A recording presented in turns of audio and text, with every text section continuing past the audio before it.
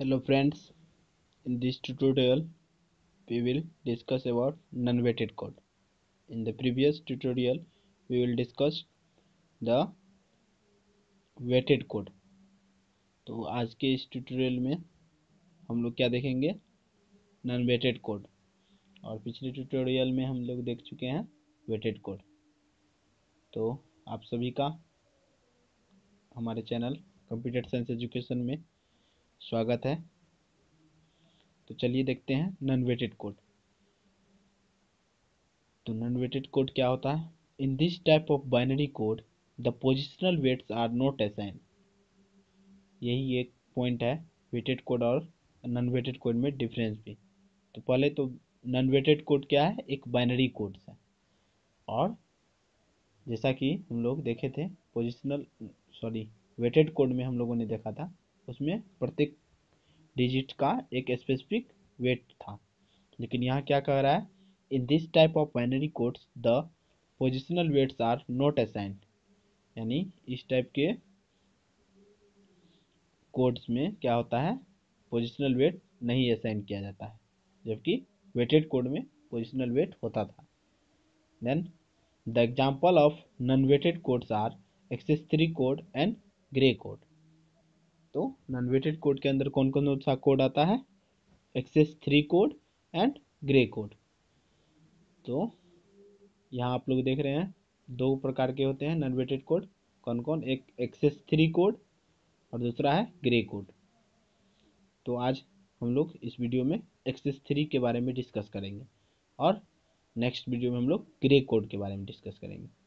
बहुत ही इम्पोर्टेंट है, चाहे आपका यूनिवर्सिटी एग्ज़ाम हो, चाहे आपका कोई भी कंप्यूटर से रिलेटेड एग्ज़ाम हो, जैसे N T R O D R D O ISRO technical assistant technical exam जो होता है, वहाँ पर बहुत ही इम्पोर्टेंट है। कोड से एम सी क्यू आएगा ही आएगा। दो या तीन क्वेश्चन आता ही है। तो चलिए, बिना देर किए हुए देखते हैं एक्सेस थ्री कोड क्या होता है। तो यहाँ आप लोग देख रहे होंगे excess three code the excess three code is also called excess X S three code यानी इसको एक्सेस थ्री कोड भी कहते हैं। It is it is non weighted code use to express decimal numbers तो ये क्या है? नॉन वेटेड कोड है। इसका यूज़ कहाँ करते हैं हम लोग? किसके लिए? तो डेसिमल नंबर को एक्सप्रेस करने के लिए।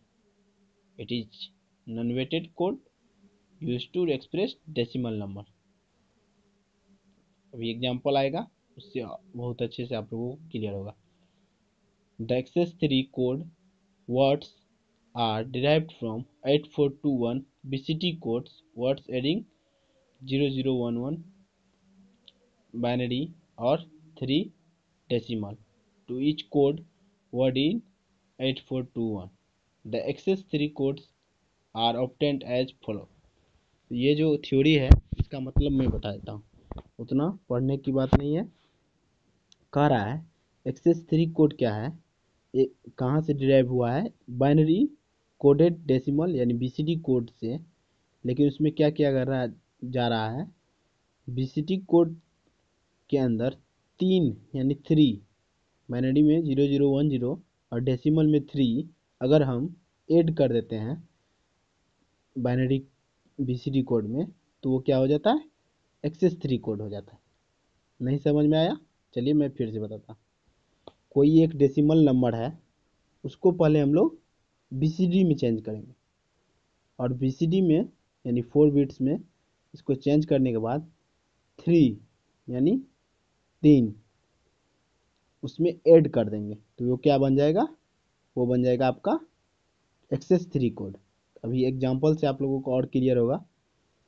तो थ्री को बाइनरी में हम लोग क्या, कैसे लिखेंगे? टू प्लस वन यानी वन, टू, फोर, एट। तो टू और वन को ऑन करेंगे, यानी ज़ीरो ज़ीरो, वन वन। यहाँ आप लोगों को दिख रहा होगा, ज़ीरो ज़ीरो, वन वन, यानी थ्री बाइनरी में। चलिए एग्जांपल देखते हैं, बिना देर किए हुए। एक डेसिमल नंबर लेना है।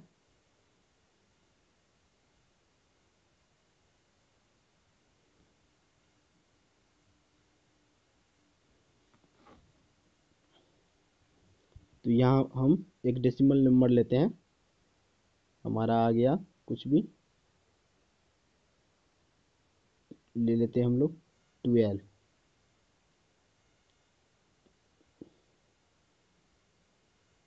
ट्वेंटी फोर ये क्या है?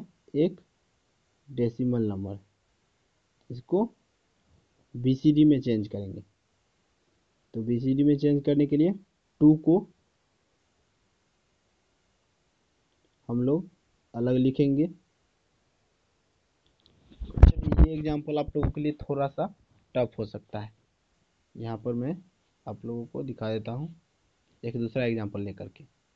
जैसे एट एट क्या है? डेसिमल नंबर है। इसको बीसीडी में चेंज करना है।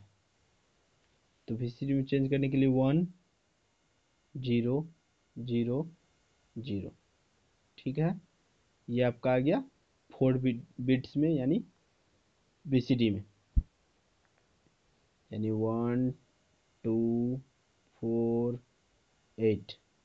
तो एट कौन किए ये आपके आ गया बीसीडी में। अब इसमें थ्री ऐड करना है। तो थ्री को कैसे लिखते हैं हम लोग? बाइनरी में ज़ीरो ज़ीरो वन वन ये आपका थ्री है बाइनरी में। तो इसको इसमें ऐड कर देना, यानी plus zero zero one one तो आपका क्या हो जाएगा? ज़ीरो वन वन फिर zero one one zero zero zero उसके बाद वन वन तो ये आपका हो गया एक्सेस थ्री कोड यानी एक्सेस थ्री कोड अब देखिए ये कितना हुआ? One, two, four, eight. Eight, two, ten, one, eleven. यानी एट में थ्री जोड़ेंगे।